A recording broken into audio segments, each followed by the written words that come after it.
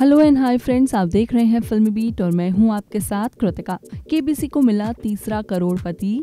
सात करोड़ के सवाल पर लिया बड़ा फैसला। टीवी शो कौन बनेगा करोड़पति में अब तक दो लोग एक करोड़ की राशि जीत कर घर जा चुके हैं। केबीसी को अब एक और करोड़पति मिल गया है। बिहार के रहने वाले गौतम कुमार झा केबीसी के तीसरे करोड़पति बने हैं, जिन्होंने एक करोड़ रूपए की राशि जीती है। सोनी टीवी ने अपने ऑफिशियल इंस्टाग्राम पर शो का प्रोमो शेयर किया है। प्रोमो में शो के होस्ट अमिताभ बच्चन, गौतम कुमार झा के सामने सात करोड़ रुपए के लिए सवाल पेश करते हैं। गौतम से पहले इस सीज़न में सनोज, राज और बबीता ताड़े ने भी एक करोड़ रुपए जीते थे। केबीसी के प्रोमो में पीछे से गौतम कुमार झा की पत्नी के समर्थन की बातें बताई जा रही है। गौतम को इस मुकाम तक पहुँचाने के लिए उनकी पत्नी ने काफ़ी मेहनत की है। हालाँकि अभी तक इसका नहीं पता चल पाया है की वो सात करोड़ रूपए जीतते हैं या फिर नहीं, लेकिन ये तो कन्फर्म हो गया है कि उन्होंने एक करोड़ के सवाल का सही जवाब दिया था। इसलिए अमिताभ बच्चन उनके सामने सात करोड़ के लिए सवाल पेश करते हैं। कौन बनेगा करोड़पति का ये एपिसोड सोमवार और मंगलवार को सोनी टीवी पर टेलीकास्ट होगा?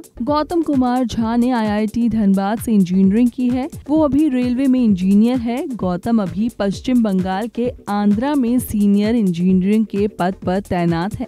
बिहार में जहानाबाद के रहने वाले सनोज राज ने केबीसी में एक करोड़ की धनराशि जीती थी। सात करोड़ रुपए का सवाल नहीं आने पर उन्होंने क्विट कर दिया था।